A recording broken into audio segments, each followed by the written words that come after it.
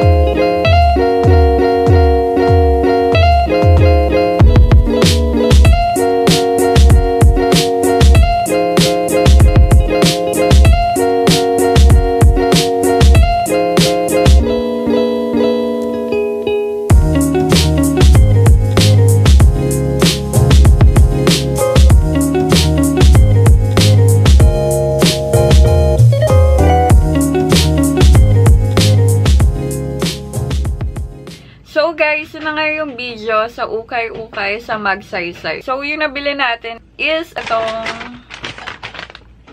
Vans na checkerboard. So yan siya.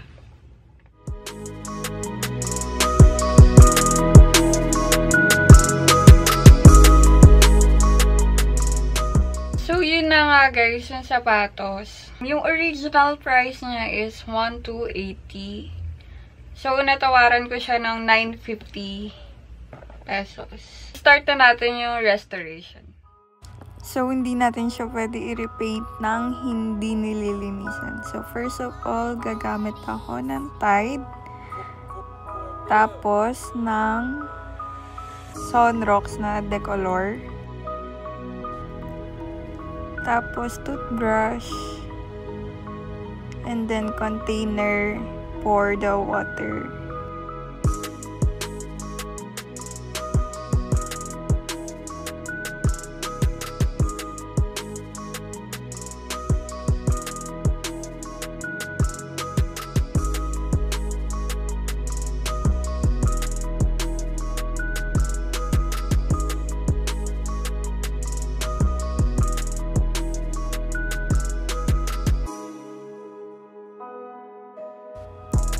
So, ayun guys. Um, ihahalo nyo lang yung Tide at saka yung Sunrocks na Decolor sa water.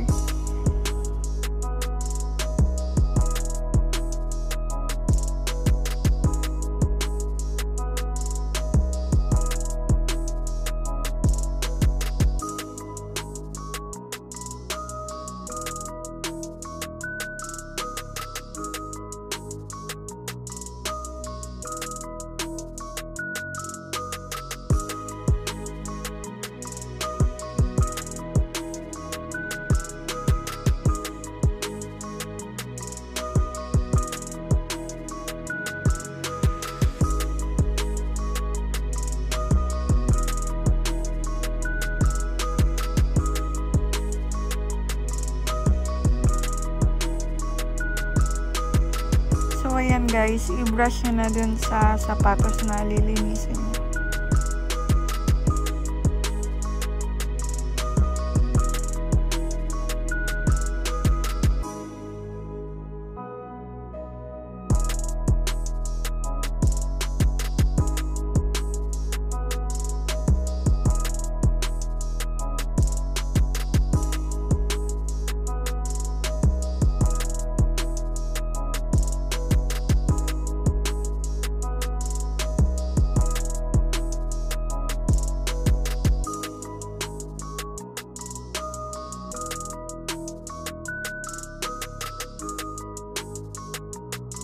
Yung ginagawa ko is, um, pinapat ko lang ng dry na towel.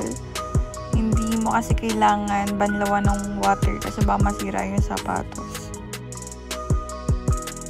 So, sa repainting naman tayo. Ito yung gamit ko, the Leather Cottage.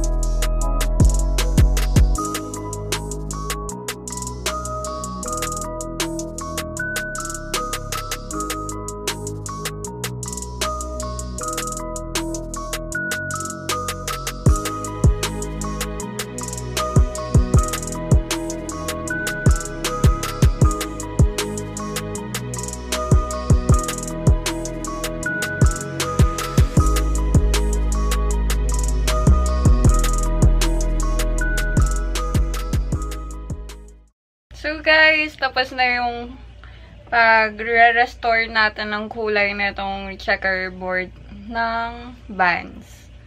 So, nilagyan ko din siya ng fixative spray sa bandang huli para magstay yung ano, yung paint na nilagay natin sa kanya at hindi siya mag-smudge pag nabasa. So, parang seal yung dating.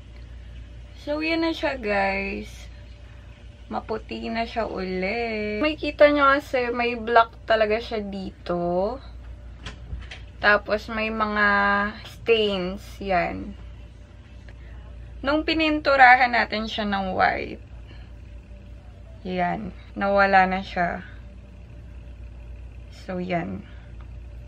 Kaya ako siya inaano ng towel para pantay yung pagkakulay ng puti dito. Ayoko kasi yung may mga buo-buo, ganun, pangit tingnan yun. So, yun. Kailangan mo lang tiyagain talaga yung pagpintura nitong mga boxes. Baka may magtanong kung saan ko to nabili. Yung, at ganito itsura niya, guys. Fixative spray. Yan. Um, 250 siya. Pag may narinig kayong maingay, yung aircon yan, binuksan kasi. 250 siya sa National Bookstore. So guys, uh, ginamit ko namang pintura. Ilalagay ko na lang yung Facebook page nila sa baba. So, eto nga, yung The Leather Cottage. Um, unang ginamit ko is pinagmix ko yung yung white tsaka yung cream para dun sa mga boxes ng checkerboard. So, pinaghalo ko lang yung white and cream dito sa mga yan. Pero dito, solid white yung ginamit ko para para pak na pak, ganun. Kung gusto nyo pa mag, um, mag-vlog lang ako ng mga restoration, ng repainting, cleaning, etc. Mag, i-comment nyo lang sa comment box down below. so, that's it guys for my vlog. Thank you so much for watching. Bye-bye!